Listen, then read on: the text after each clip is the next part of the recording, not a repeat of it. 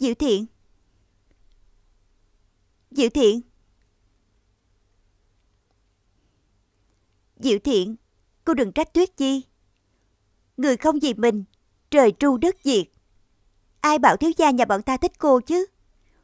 Muốn trách, Cũng phải trách bản thân cô.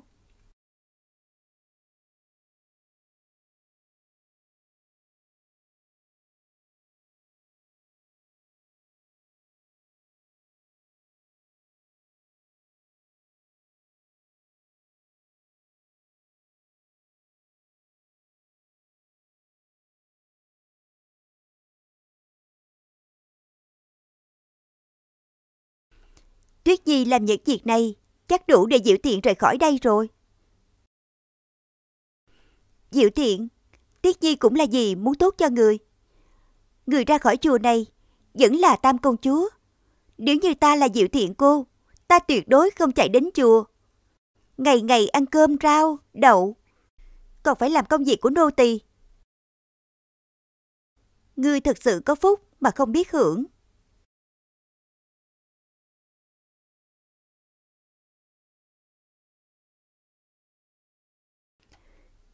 Tuyết Di cô nương xảy ra chuyện gì rồi? Chết rồi, chết rồi. Sao vậy? Ta vừa đi qua Phật đường, nhìn thấy Diệu Thiện nổi giận, dứt hết đồ đạc cúng dường trên bàn, xuống đất hết rồi. Có chuyện như vậy sao? Nếu như để sư thái biết, chắc chắn không được đâu.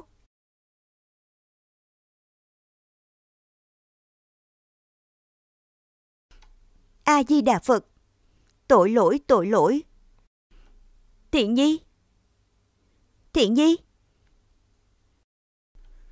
Diệu Thiện, mau tỉnh lại đi. Diệu Thiện.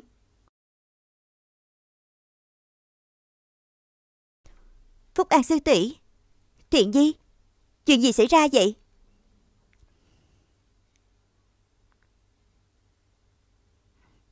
Sư phụ, Diệu Thiện, con xuống núi đi. Sư phụ, đệ tử một lòng hướng Phật, tuyệt đối không làm ra chuyện bất kính với Phật tổ. Con không kính Phật.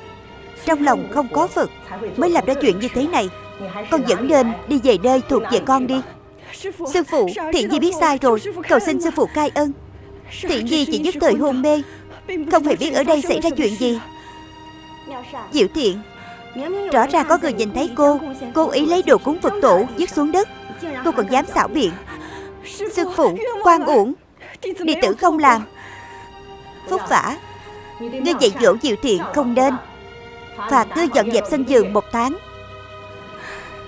Diệu Thiện Sợ rằng chùa này của Lão Ni Không giữ nổi cô. Đừng mà sư phụ.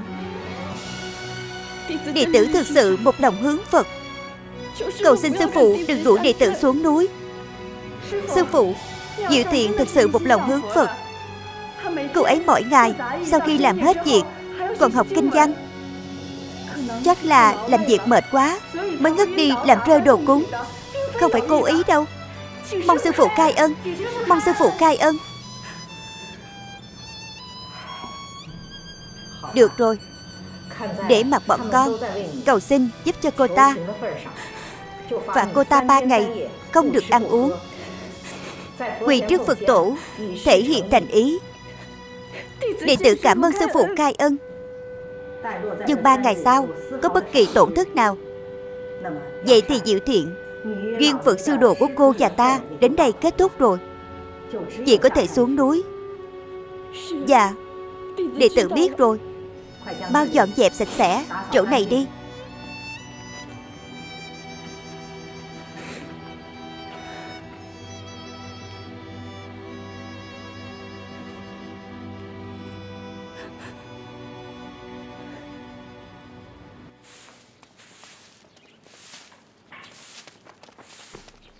Phải sư tỷ.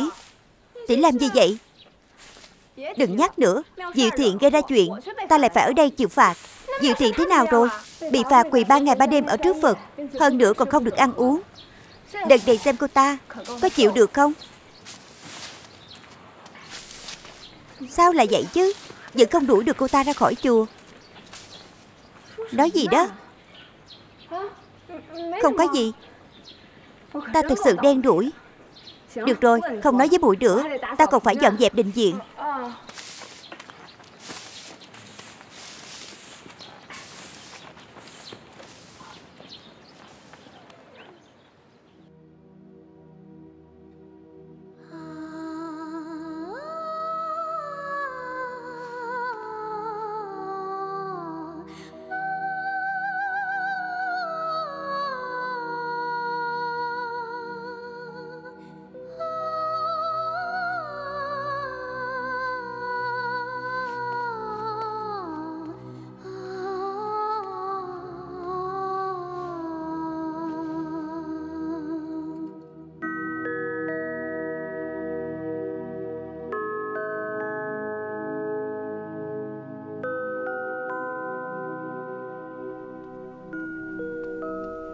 Sư Thái, Phúc An đến xem sư phụ có cần thêm gì không?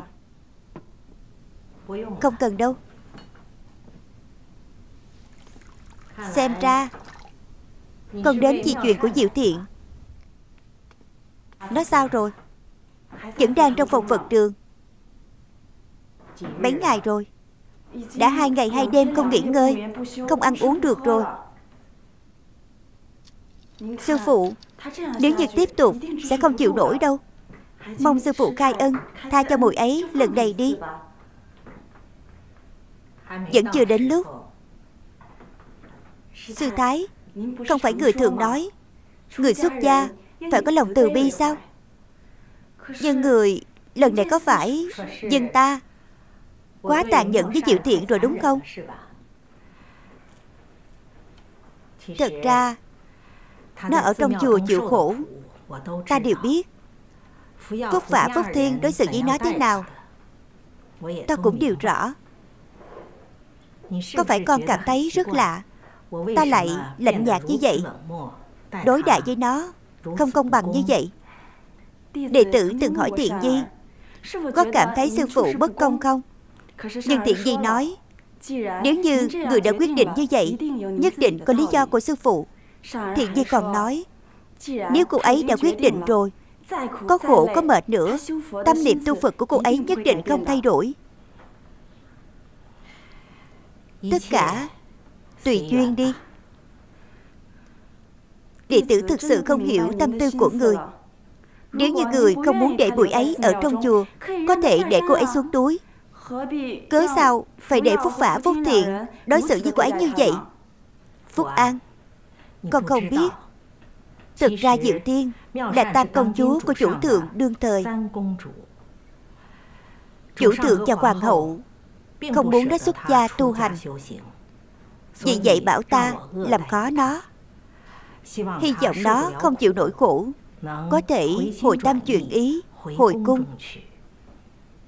Hóa ra thiện di Từ bỏ danh phận tam công chúa Một lòng hướng Phật Sư Thái Người không phải thật sự sợ quyền thế Mà nhẫn tâm đối xử với cô ấy như vậy chứ.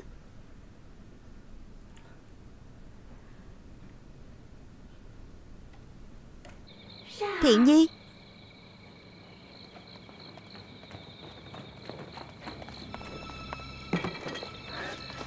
Tuyết Nhi cô nương Sao cô lại đến đây? Cô mấy ngày mấy đêm không ăn rồi Sắp đói chết rồi đúng không? Ta đặc biệt đem đến cho cô đó Cô thử đi. Tuyết Nhi cô nương Cảm ơn ý tốt của cô. Nhưng Tuyệt Nhi đã đồng ý với sư phụ Nhất định sẽ làm được. Ta nói cô sao ngốc vậy? Cô ăn một chút sẽ không ai biết đâu. Cô yên tâm. Ta thấy mọi người ngủ hết rồi, Mới lấy cho cô. Cô ngửi xem, thơm lắm. Tài nghệ của ta đỉnh lắm. Cô thử đi. Tuyết Nhi cô nương, Cảm ơn ý tốt của cô. Nếu như Thuyền Nhi Ngay cả chuyện nhỏ này cũng không làm được, Thì làm sao tu hành đắc đạo? Vậy được rồi. Vậy ta để ở đây. Lúc nào cũng muốn ăn thì ăn. Tuyết Nhi cô nương. Cô cầm đi đi. Ta nói cô nè Sao cô thích tự mình làm khổ như vậy? Được rồi được rồi. Coi như ta đến vô ích. Ta cầm đi đây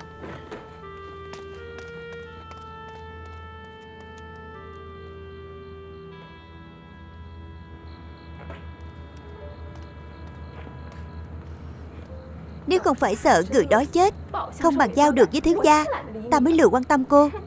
Còn không biết điều Đói chết cũng đáng. Thật là. Tuyết Chi một mình lẩm bẩm gì vậy? Phúc Thiên sư phụ Không có, không có gì. Trong tay mùi cầm cái gì đó, cho ta xem nào. Phúc Thiên sư phụ, không có gì. Được lắm, mùi dám đưa cơm cho Diệu Thiện.